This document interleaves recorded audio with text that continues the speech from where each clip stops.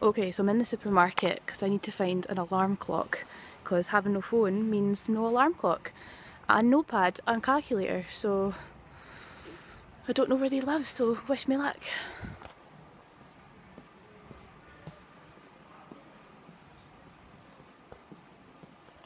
I don't think I've ever bought a alarm clock ever.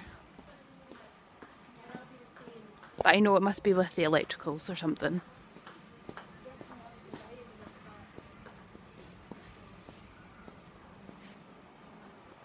I bedding. Bed. Alarm. Easy. Maybe not. Maybe keep looking. just... You found the alarm clock yet? Yay! Alarm clocks! Okay, so I can have this alarm clock, which is set me back seven quid. I can have this alarm clock, which is 12 quid. That's 12 quid as well.